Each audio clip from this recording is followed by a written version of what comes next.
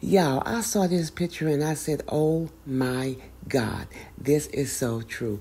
The goldfish see himself as a shark. And it don't matter what you think about what he think or what he feels. This is what he feels. And he is going to manifest that. The mindset is everything. What? Y'all just take a moment and look at that. Take a moment and think about that. Read it and close your eyes.